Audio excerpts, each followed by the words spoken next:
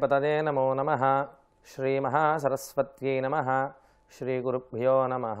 हरिः ॐ शुक्लाम्बरधरं विष्णुं शशिवर्णं चतुर्भुजं प्रसन्नवदनं ध्यादेत्सर्वविघ्नोपशान्तदे अगजाननपद्मार्कं गजाननमहर्निशम् अनेकदन्तं भक्तानाम् एकदन्तमुपास्महे।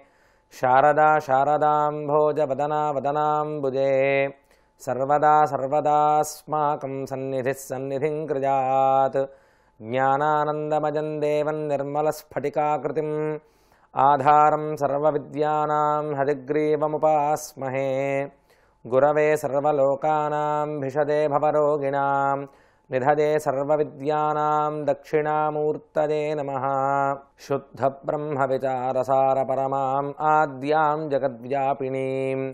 वीणापुस्तकधारिणीम् अभयदां अभयदाम् जाड्यान्धकारापहा हस्तैः स्फाटिकमालिकाम् विदधतीम् पद्मासने संस्थिताम् वन्देताम् परमेश्वरीं भगवतीं बुद्धिप्रदां शारदाम् अरुणां करुणातरङ्गिताक्षीं धृतपाशाङ्कुशपुष्पबाणछापाम् కరుణాతరంగితాక్షీం ధృతపాశాంకుశపుష్పబాణఛాపాం అణిమాదిభిరావృతాం మయూఖైరహమిత్యేవ విభావజే అస్మత్ శ్రీ నమ. పీసీఎన్ ఛానల్ ప్రేక్షకులందరికీ శారదా నవరాత్రి మహోత్సవ శుభాకాంక్షలు తెలియజేస్తూ మనం చెప్పుకుంటున్నటువంటి ఈ లలితా వైభవము అనేటువంటి గొప్ప గ్రంథాన్ని నిన్న రోజున మనం అమ్మవారి యొక్క జగన్మోహిని రూపం చెప్పుకున్న తర్వాత ఇవాళ రోజున అమ్మవారి యొక్క శివమోహిని స్వరూపము ఆ తర్వాత లలితాంబ యొక్క ప్రాదుర్భావ ఘట్టాన్ని అంటే లలితాంబ వారు ఉద్భవించినటువంటి ఘట్టానికి ప్రారంభ కాలము అదంతా కూడా ఇవాళ మనం చెప్పుకుందాం. అయితే ఈ జగన్మోహిని స్వరూపం తర్వాత దేవతలందరూ కూడా అమృతత్వాన్ని పొంది అమరులందరినీ అమరులందరూ కూడా అసురుల మీద జయించి వారి వారి లోకాలకు వెళ్ళిపోగా ఈ నారదుడు మాత్రం కొంతకాలానికి బయలుదేరి కైలాసానికి వెళ్ళి ఇలాగా శ్రీ మహావిష్ణువు చాలా విశేషంగా జగన్మోహిని రూపాన్ని పొంది తాను దేవతలందరికీ కూడా దేవతలందరికీ కూడా అమృతత్వాన్ని పంచి ఇచ్చినట్టుగా చెప్పాడు. వెంటనే మనకందరికీ తెలిసిన కథే కదండి.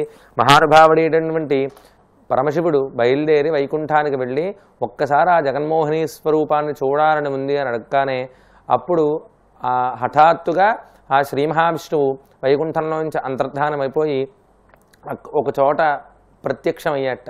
ప్రత్యక్షం అవగానే అప్పుడు శివుడు వైకుంఠమంతా వెతుక్కుంటూ ఉంటే దూరంగా ఒక పాట వినిపించిందిటండి. ఎవరికి? పరమశివుడికి. ఆ పాట వస్తున్నటువంటి చోటకు వెళ్ళగా అక్కడ గొప్పగా ఒక ఉద్యానవనం కనిపించిందిట. ఆ ఉద్యానవనంలో భోగే భవానీ రూపాత సాదుర్గా రూపాత సంగరే కోపేచ కాళికావేష పుంబరూపేచ మదాత్మిక సుస్పష్టంగా చెప్పారు. అమ్మవారు ఎలా ఉన్నారయ్యా అంటే మోహినీ స్వరూపంగా చాలా అందంగా ఆ ఉద్యానవనంలో తిరుగుతూ కనిపించారట. తిరుగుతూ కనిపిస్తే శివుడు వెంటనే చూసి అమ్మవారిని మోహించేటండి. అమ్మవారిని మోహించగానే ఆ అమ్మవారు శ్రీ మహావిష్ణువుని ఎలాగ వచ్చింది? శ్రీ మహావిష్ణు స్వరూపంగా ఎలా వచ్చింది? అనగానే అప్పుడు చెప్తున్నారు అక్కడ ఉన్నటువంటి రహస్యాన్ని. ఆ ప్రారంభంలో మొట్టమొదట పరంజ్యోతి స్వరూపం ఉందిటండి. ఇది దేవీ భాగవతంలో ఉన్నటువంటి విశేషం. ఆ పరంజ్యోతి స్వరూపంలో నుంచి మూడు జంట కవలలు పుట్టారట. మూడు జంట కవలలు. అంటే మొట్టమొదట బ్రహ్మ లక్ష్మి ఇద్దరు కూడా కవల పిల్లలుగా పుట్టారట. వీళ్ళు అక్కా చెల్లి అక్కా తమ్ముళ్ళు అనుకోవచ్చు లేదా అన్నా చెల్లెలైనా అనుకోవచ్చు. ఆ మొట్టమొదట బ్రహ్మ లక్ష్మి పుట్టారట. తర్వాత నారాయణుడు పార్వతి పుట్టారట. ఆ తర్వాత శివుడు సరస్వతీదేవి ఒకేసారి ఆ పరంజ్యోతి నుంచి ఉద్భవించారట. పరంజ్యోతి నుంచి ఉద్భవించి ఆ బ్రహ్మదేవుడు జ్ఞానరూపంగా ఉన్నటువంటి అమ్మవారు జ్ఞానరూపమైనటువంటి శివుడు అన్నాచెల్లెలుగా పుట్టారు. ఆ జ్ఞానరూపంగా ఉన్నటువంటి అమ్మవారు సృష్టి చేసేటువంటి బ్రహ్మగారికి భార్యగా అయింది. ఆ తర్వాత స్థితి చేసేటువంటి లక్ష్మి మనకి ఎల్లప్పుడూ కూడా ఇవన్నీ సృష్టికి స్థితి ఆధారం అండి. స్థితి లేకుండా సృష్టి జరగడం కుదరదు. అదేవిధంగా లయం జరగ లయం జరిగితేనే సృష్టి అనేది ప్రారంభమవుతుంది. లయం లేకుండా సృష్టి అనేది జరగదు. అందుకనే ఈ లయానికి ఈ సృష్టికి ఈ సృష్టి రెండింటికి మధ్యలో ఉన్నటువంటి స్థితి ఈ మూడు కూడా ఆధారాలే. ఈ మూడు వేటికవే దేనికి దానికి ఆధారం అవుతూ ఉంటాయి. అందుకనే లయం చేసే జ్ఞానశక్తితో సృష్టి చేస్తే సృష్టి చేసేటువంటి శక్తితో స్థితి చేయడానికి విష్ణుమూర్తి దగ్గరికి లక్ష్మీదేవి రాగా మరలా జ్ఞానం ఉన్నటువంటి వాడే లయం చేయగలిగినటువంటి శక్తి కావాలి కాబట్టి లయరూపంగా వచ్చినటువంటి అంటే ఈ స్థితికారుతో వచ్చినటువంటి ఈ లయశక్తి అమ్మవారు నారాయణ నారాయణి విష్ణు వైష్ణవి బ్రహ్మ బ్రాహ్మి ఈశ్వర ఈశ్వరి. అన్నీ అమ్మవారి స్వరూపాలే.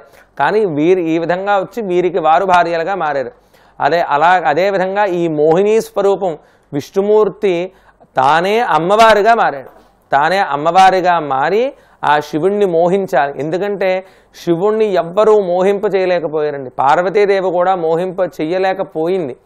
ఆ శివుణ్ణి. అందుకని శివుణ్ణి మోహింపజేసిందంటే దీన్ని కూడా చెప్తాడు శంకర భగవత్పాదుల శంకర భగవత్పాదుల వారు ఆ సౌందర్యలహరిలో హరిస్వాం ఆరాధ్యామని. అమ్మవారిని అమ్మవారి రూపం అమ్మవారిని ఆరాధన చేసి విష్ణుమూర్తి ఆ అమ్మవారి యొక్క రూపాన్ని పొంది పరమశివుణ్ణి మోహింపజేస్తే వాళ్ళిద్దరి యొక్క తేజస్సు కలయిక చేత మహానుభావుడైనటువంటి శాస్త మహాశాస్త ఆయన్నే మనం అయ్యప్ప స్వామిగా కొలుచుకుంటూ ఉంటాం. ఆ మహానుభావుడు ఉద్భవించాడు. ఆ తర్వాత ఆ శివమోహిని స్వరూపం అక్కడతో అంతర్ధానమైపోయింది. అమ్మవారి యొక్క ప్రకృతి ప్రధాన రూపాల్లో రెండవదైనటువంటిది ఆ మోహిని స్వరూపం. ఆ ఏ మోహిని స్వరూపమయ్యా అంటే శివమోహిని స్వరూపం. ఆ తర్వాత అమ్మవారి యొక్క లలితా ఘట్టాన్ని చెప్పడం ప్రారంభించాడు హయగ్రీవుడు. ఈ లలితా ఘట్టానికి ముందు ఎన్నో కథలు జరిగేటండి. ఆ కథల దగ్గర నుంచే ప్రారంభిస్తున్నాడు. ఏమిటయ్యా ఆ కథలంటే మొట్టమొదట ఆ పరాశక్తి దక్షుడికి కుమార్తెగా పుట్టారని నిర్ణయించుకుందిట. ఎందుకంటే దక్షుడు ఎంతో కాలము అమ్మవారి గురించి తపస్సు చేసేట.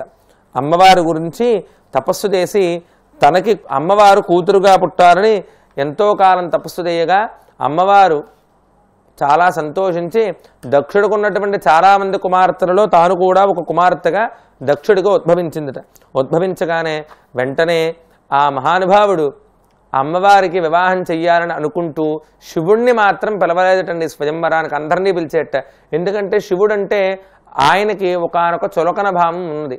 అందుచేత ఆనాడు దక్షుడు ప్రజాపతి కదండి. అందుకని దేవతలందరినీ పిలిచాడు కానీ ఈశ్వరుణ్ణి మాత్రం పిలవలేదుట. కానీ అమ్మవారు మొత్తానికి ఈశ్వరుణ్ణే తన భర్తగా చేసుకుని ఇష్టం లేకపోయినా సరే దక్షుడు ఈశ్వరుడికి ఇచ్చి వివాహం చేసేట అమ్మవారిని. అమ్మవారు దక్షుడికి పుట్టినప్పుడు సతీదేవిగా పిలవబడింది. సతీదేవిగా పిలవబడింది. ఆ తర్వాత దక్షుడు యజ్ఞాన్ని ప్రారంభించడం అది శివుడు లేకుండా చేసినటువంటి యజ్ఞం నిరీశ్వర యాగము. దానికి బృహస్పతి వసనము అని పేరు పెట్టాడు పైగా. ఆ నిరీశ్వర యాగానికి అమ్మవారిని అయ్యవారిని పిలవకుండా తాను యాగం చేయడము. అమ్మవారు దక్షుడికి బుద్ధి చెప్పాలని నిర్ణయించుకుని ఈశ్వరుడితో తాను పుట్టింటికి వెళ్తానని చెప్పి బయలుదేరటము. అమ్మవారు అక్కడికి వెళ్ళి ఆ దక్షుణ్ణి నిలదీసిందిటండి. తస్మాదిమం శివద్రోహ సంపన్నం బహుపాతకం దేవీ ద్రోహేణ చాత్యంత పాపిష్టం జహిదుర్ధియం చెప్పిందట అమ్మవారు. శివద్రోహి అంటే దేవీద్రోహి అమ్మవారికి కూడా ద్రోహి. దేవీద్రోహి కనుక ఆ పాపిష్ఠుని ఓ వీరభద్ర నువ్వు శిక్షించు అని ఆ పరమేశ్వరుడితో పాటు పరమేశ్వరుడి శివగణాల్లో వచ్చినటువంటి వీరభద్రుణ్ణి అమ్మవారు ఆదేశించి ఇక దక్షుడికి కుమార్తెగా ఉండకూడదు అనే నిర్ణయం తీసుకుని తాను అక్కడే యోగాగ్నిలో భస్మమైపోయింది. కొంతకాలం తర్వాత హిమవంతుడు తపస్సు చేసి అమ్మవారిని తన కూతురుగా పుట్టమని అడగగానే వెంటనే అమ్మవారు చాలా సంతోషించి హిమవంతుడికి పార్వతిగా పుట్టింది. పార్వతిగా పుట్టి అక్కడే ఉన్నటువంటి హిమపర్వత ప్రాంతంలో ఉన్నటువంటి కైలాసనాథుడికి సేవ చేయడం ప్రారంభించింది. ఎందుచేతన అంటే ఆయననే భర్తగా పొందాలన్నటువంటి ఉద్దేశంలో అమ్మవారు ఎంతో విశేషంగా సేవ చేయడం ప్రారంభించింది. ఆయన్ని ఒక్కసారైనా మోహం మోహింపజేసి తన వశం చేసుకోవాలని కూడా అమ్మవారు చిన్న ప్రయత్నం ప్రారంభించింది. అయితే ఇదే సమయంలో అమ్మవారిని ఎట్టి పరిస్థితుల్లో కూడా మోహింపజేసి పరమేశ్వరుణ్ణి కూడా మోహింపచేసి వీళ్ళిద్దరికీ పుట్టేటువంటి వాడు మాత్రమే దేవతల్ని రక్షించగలడు అన్న నిర్ణయానికి దేవతలందరూ రావడం ప్రారంభించారు. ఎందుచేతనయ్యా అంటే తారకాసురుడు అనేటువంటి రాక్షసుడు ఈ పరమేశ్వరుడికి భార్య లేదన్నటువంటి ఉద్దేశ్యంలో పరమేశ్వరుడికి పుట్టేటువంటి కొడుకు మాత్రమే పరమేశ్వరుడు వీర్యం ద్వారా ఉద్భవించినటువంటి జీవి మాత్రమే తనల్ని సంహరించాలనే వరాన్ని పొంది దేవతలందరినీ బాధించడం మొదలుపెట్టారు. దేవతలందరూ ఈ బాధ తట్టుకోలేక విష్ణుమూర్తి దగ్గరికి వెళితే విష్ణుమూర్తి ఆలోచించి తన నుంచి పుట్టినటువంటి మన్మధుణ్ణి పిలిచి ఆ మన్మధుణ్ణి శివుణ్ణి మోహింపజేయమని పంపించారట. పంపించగానే ఆ మన్మధుడు బయలుదేరి వెళ్ళి తన ఎదురుగుండా ఉన్నటువంటి స్థిర రూపంగా ఉన్నటువంటి పరమశివుడి మీద తన దగ్గర ఉన్నటువంటి చెరుకు పూలమాణంతో పూలబాణంతో మోహింపచేద్దామని విల్లు ఎక్కుపెట్టాట ఎక్కుపెట్టగానే పరమశివుడు కళ్ళు తెరిచి చూడగానే ఆయన యోగాగ్నిలో ఆ మన్మధుడు భస్మమైపోయాడు. భస్మమైపోయిన తర్వాత అమ్మవారు కూడా అయ్యో కామప్రళయం వచ్చిందే అని అనుకున్నారట. కామప్రళయము అంటే ఏదైతే సృష్టి జరగడానికి మూలమో ఆ దేవత నశించిపోయింది. కానీ మన్మథ శక్తి పోలేదు. మన్మధుడి యొక్క రూపం మాత్రమే పోయింది. అమ్మవారు ఇంకా పరమేశ్వరుణ్ణి మోహంతో కానీ సౌందర్యంతో కానీ మనం మోహింపజేయలేమని ఉద్దేశంలో అమ్మవారు తపస్సులోకి వెళ్ళిపోగా పరమేశ్వరుడు కూడా తన నిజవాసమైనటువంటి కైలాసానికి వెళ్ళి ఆయన కూడా తపస్సులో కూర్చున్నాడు. అలా ఉన్నప్పుడు దేవతలకి మరింత ఇబ్బంది అయిపోయింది. ఎందుచేతనయ్యా అంటే వీరిద్దరూ కూడా ఎవరికి వారు అంతర్ముఖులై తపస్సులు చేసుకోవడం చేత వీళ్ళకి కలిగేటువంటి సంతానం ఎప్పుడు కలుగుతుంది? మన యొక్క బాధ ఎప్పుడు తీరుతుంది అనుకుంటూ ఉన్నారట. అదే సమయంలో ఒక వింత జరిగింది. ఏమిటయ్యా వింత అంటే ఆ మన్మధుడు తగలబడిపోయాడు. ఇందులో పరిశీలించాల్సినటువంటి విషయాలు చాలా ఉన్నాయి. మన్మధుడు స్థూల శరీరం మాత్రమే దగ్ధమైపోయింది కానీ సూక్ష్మ శరీరంతో మన్మధుడు ఎప్పుడూ ఉంటాడు. ఎందుచేతనయ్యా అంటే ఆయన అమృతత్వాన్ని పొందినటువంటి ఒకనొక దేవత. మళ్ళీ ఆయనకి ఏదో శరీరం వచ్చేంత వరకు కూడా ఆయన సూక్ష్మ శరీరంతో తిరుగుతూనే ఉంటాడు. ఈ స్థూలదేహంలో అంతకాలం మన్మథభావం వ్యాపించిపోయి ఉండడం చేత ఇప్పుడు అది పూర్తిగా దగ్ధమైపోయి బూడిదైపోయి పడిపోయింది.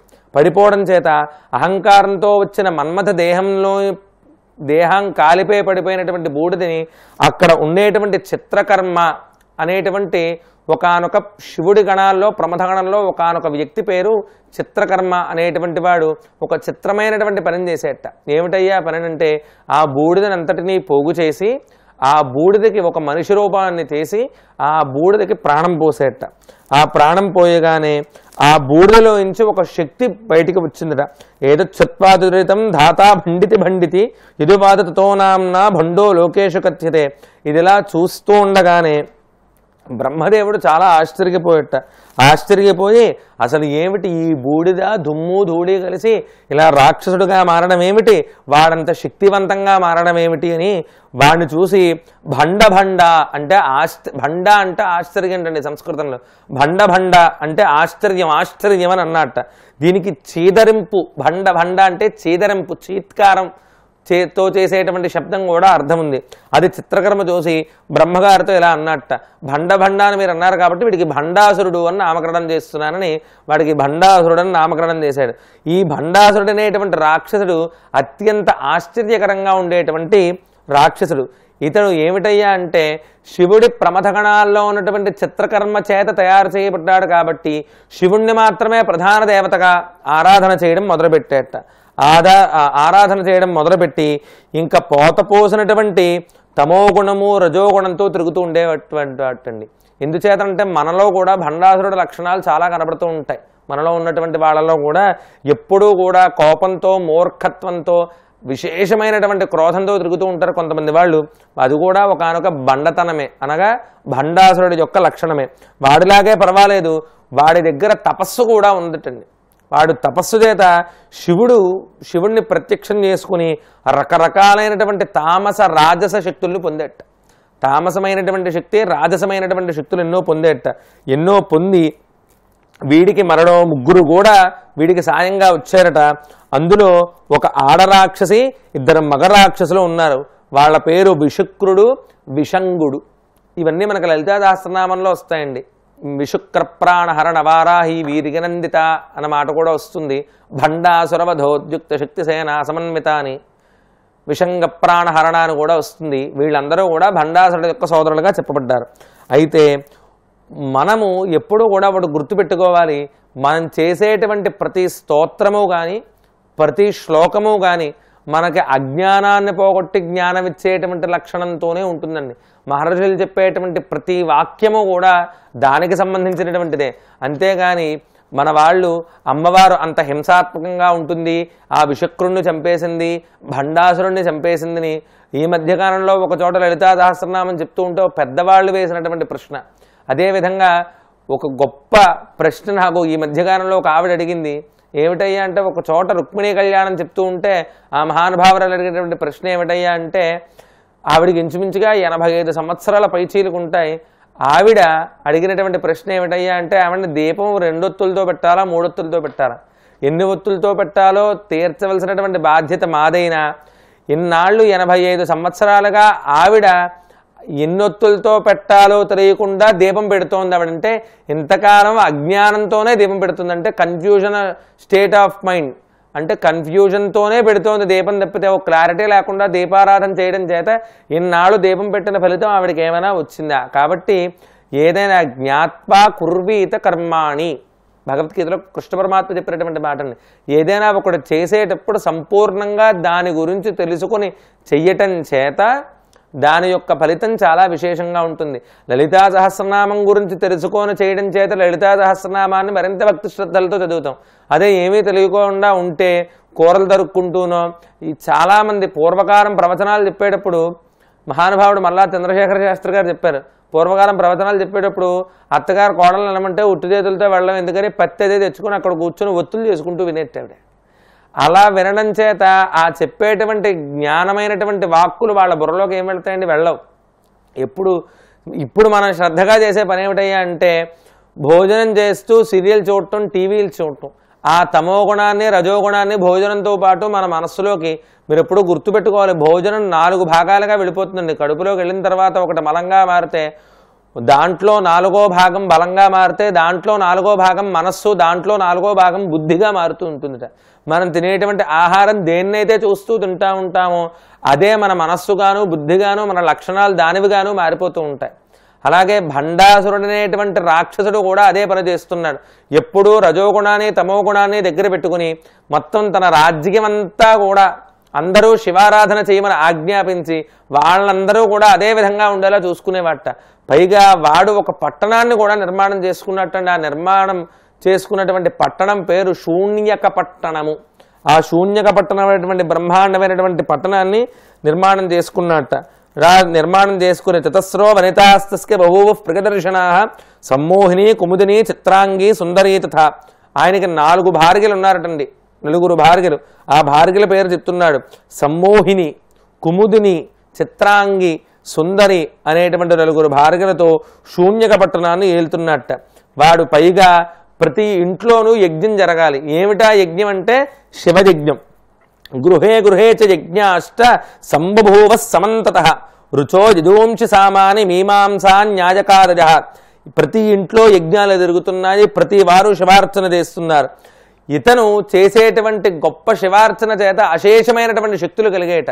అయితే ఆ శక్తులతో దేవతల మీద దాడికి చెయ్య దాడి చేద్దామని నిర్ణయించుకున్నారు కానీ ఎటువంటి దాడి అంటే ఇవాళ మనకు వస్తుంది కదండి బయోవార్ అని చెప్తూ ఉన్నారు మన వాళ్ళు. బయోవార్ అంటే ఒకనొకమైన రకమైనటువంటి ఒక వైరస్ని ప్రవేశపెట్టడం ఒక దేశంలో. ఆ వైరస్ చేత అందరూ బాధపడుతూ ఉండడం.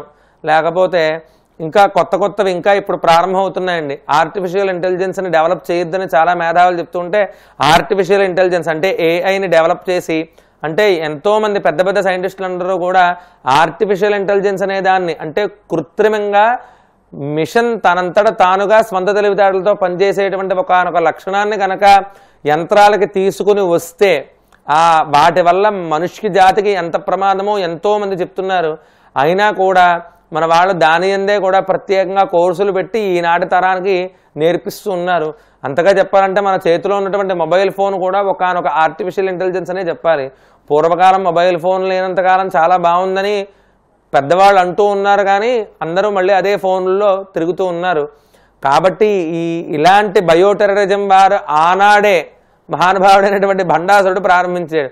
ఏమిటయ్యా అదంటే ఆయన ఒకానొక శక్తిని తన వాయువు అక్కడ ఉన్నటువంటి వాయువుల్లో విడిచిపెట్టి ఆ శక్తితో పాటు అతను కూడా ఆ వాయువులతో పాటు దేవతల శరీరంలోకి వెళ్ళి దేవతల శరీరంలో ఉన్నటువంటి రసం రసం అంటే ఏదైతే ప్రాణానికి ఆధారంగా ఉంటుందో ఆ మూలాధారమైనటువంటి రసాన్ని తను కనుక పీల్చేసుకుంటే దేవతలు నీరసించిపోయి మనతో యుద్ధాలు చెయ్యలేరు అన్న ఉద్దేశంలో వాళ్ళందరికీ కూడా కనపడకుండా వాజరూపంలో వెళ్ళి వాళ్ళందరి వాళ్ళ అందరి దగ్గర ఉన్నటువంటి రసాన్ని పుచ్చేసుకోవడం ప్రారంభించేట.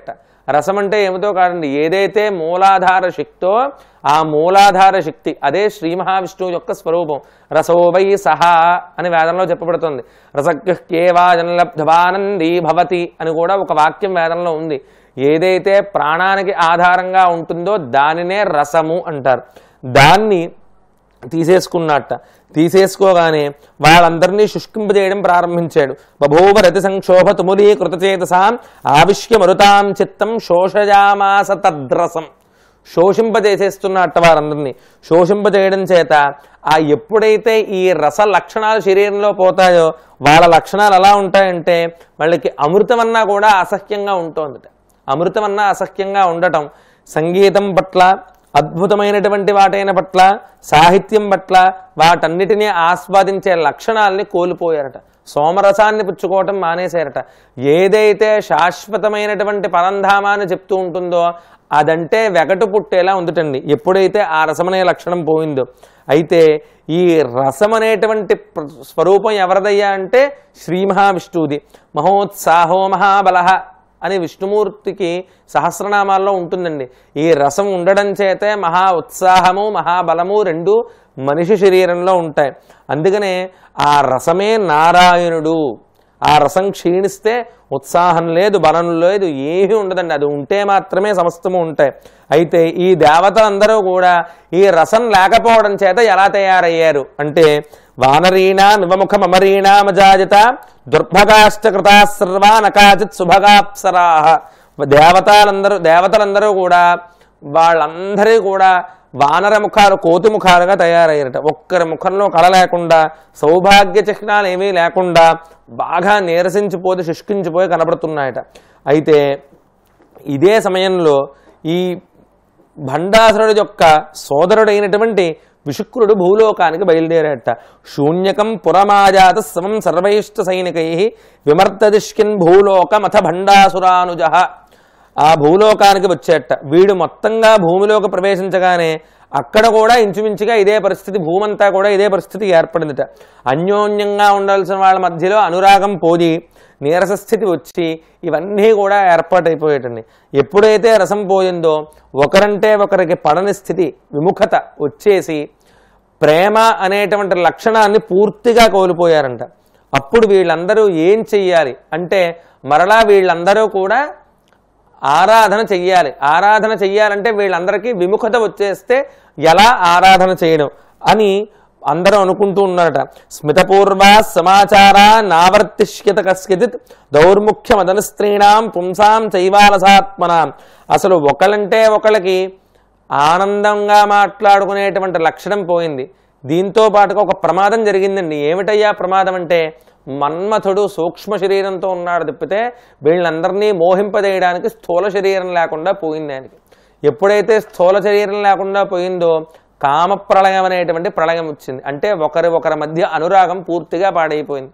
ఎప్పుడైతే ఈ అనురాగం పాడైపోయిందో వాళ్ళిద్దరి మధ్య కూడా అన్యోన్యత పోయి వాళ్ళిద్దరూ విముఖంగా ఉండడం అంటే స్త్రీ పురుషులిద్దరూ విముఖంగా ఉండడం ప్రారంభించారు. ప్రారంభిస్తే ఇదే సమయంలో ఈ భూలోకంలో ఉన్న వాళ్ళందరికీ కూడా ఇళ్ళ మీద ధ్యాస లేకుండా పోయింది. పూజామందిరాల మీద ధ్యాస లేకుండా పోయి ఇళ్ళన్నీ కూడా పాడైపోయి పూజామందిరాలు ఎక్కడ పడితే అక్కడ వృక్షాలన్నీ పడిపోయి గడ్డి మొలవకుండా అసలు భూమంతా కూడా క్షామానికి దగ్గరగా తయారైందట. ఈ సమయంలో ఉండగా వాళ్ళ పరిస్థితి ఎలా ఉందయ్యా అంటే నరుచు జాగతే తస్మాత్ భోజ్య వస్తుషు దేహినాం ముఖేత శ్మశ్రురహిత శస్త్రయుద్ధ పరాంగుఖా సర్వతో సర్వత్రోషర భోజిష్ట పుణ్యజంతు వివర్జిత. చాలా స్పష్టంగా మన కలియుగ లక్షణాలన్నీ కూడా ఈ ఒక్క శ్లోకంతో మహానుభావుడైనటువంటి వ్యాసుడు బ్రహ్మాండ పురాణంలో హరిగ్రీవుడు అగస్త్యుడికి చెప్పింది మనకు చెప్పాడండి. ఏమిటయ్యా అంటే అద్భుతమైనటువంటి భోజన పదార్థాలు ఉన్నప్పటికీ కూడా వాటిని తినటం మానేసి బయట ఏవి తింటే తామస లక్షణాలు బాగా రజోగుణం కలుగుతుందో అటువంటి లక్షణాలు కలిగినటువంటి మాంస పదార్థాలు తినడం ప్రారంభించారట. రసం పోవడం చేత. అందరి ముఖాలు పాలిపోతే కళ లేకుండా ఉన్నాయటండి. పురుషుల ముఖాల్లో కూడా విపరీతంగా పెరిగిపోయినటువంటి గడ్డము లేదా అసలు గడ్డం లేకుండా ఉండటము కనిపిస్తూ ఉంటుంది శౌర్యం పోయి యుద్ధం అంటే ఆమడ దూరం పారిపోయేంత అభీరులుగా తయారయ్యారట వాళ్ళు. అయితే వీళ్ళందరూ కూడా ఏదైతే ఇంట్లో ఉండవలసినదో దాన్ని బయటపెట్టి ఏది ఇంట్లో ఉండకూడదో దాన్ని ఒళ్ళో పెట్టుకొని తిరుగుతున్నారటండి. అది మీరు ఎవరూ కూడా మరోలా భావించకండి. శునక సోకర మార్జాల కుక్కుటాత్యాద శునకము సోకరము మార్జాలము కుక్కుటములు. అంటే కుక్కలు పందులు పిల్లులు కోళ్ళు వీటిని ఇళ్ళల్లోనూ ఒళ్ళో పెట్టుకుని ముద్దులు పెట్టుకుంటూ ఉన్నారట. ఇంట్లో ఉండవలసినటువంటి గోవు ఇత్యాదులందరినీ అన్నిటిని కూడా మంగళ పదార్థాలని బయట విడిచిపెట్టి వీళ్ళందరూ కూడా ఈ భండాసురుడు చేసినటువంటి ఈ పని చేత వీళ్ళందరూ ఇలా ప్రవర్తిస్తున్నారు. అంటే ఈ ప్రకారంగా మన కలియుగంలో భండాసురుడు ఎంత వ్యాప్తించిపోయాడో చూడండి. అయినా సరే వాళ్ళ వాటి వల్ల వాళ్ళకి జబ్బులు వస్తున్నా వాటిని విడిచిపెట్టమని చెప్తున్నారటండి అప్పుడు జనాలు. అన్నీ గొప్పవే. అలా అని ఇప్పుడు అది ఇంట్లో ఉండకూడదు అని శాస్త్రంలో లేదు కానీ అవి కూడా ఇంట్లో ఉండవచ్చు. ఎక్కడయ్యా అంటే వాటికి ఒక పరిమితం ఉన్నది. ఏమిటయ్యా అంటే నమశ్వభ్యశ్వపతిభ్యష్టవో నమ అని నమ్మకంలో ఈశ్వరుడు సాక్షాత్తు శునక స్వరూపము. శ్వ అంటే శునకం. ఆ స్వరూపంగా ఉన్నాడని నమకాను ఇత్యా నమ్మకము ఇత్యాది రకరకాలైనటువంటి వాటిల్లో కూడా దాని గురించి చెప్తున్నారు కాబట్టి ఇది కేవలం ఒకరిని నిందించడం అని ఉద్దేశ్యం కాదు కానీ ప్రతి వాటికి ఒక పరిమితి ఉన్నది. కేవలం ఇంట్లో గోవుని మాత్రమే పెట్టుకోమన్నారు. మిగతా జంతు జీవాలని ఒక పరిమితి పెట్టి బయటనే ఉంచమని చెప్పినట్టుగా మనకి ఇందులో కనపడుతోంది. కాబట్టి దీన్ని మీరు శ్రద్ధగా గ్రహించి దీన్ని పాటిస్తారని ఉద్దేశిస్తూ చక్కగా ఇవాళ రోజున ఇంతవరకు చెప్పుకున్నాం. రేపటి రోజున అమ్మవారి యొక్క ఆవిర్భావం ఎలా జరిగిందో చెప్పుకున్నాం. బీసీఎన్ ప్రేక్షకులందరూ కూడా రేపటి రోజున ఇదే సమయానికి మరి ఈ ఛానల్లో వీక్షించండి. సర్వం శ్రీ లలితాంబ చరణారవిందార్పణ వస్తు స్వస్తి.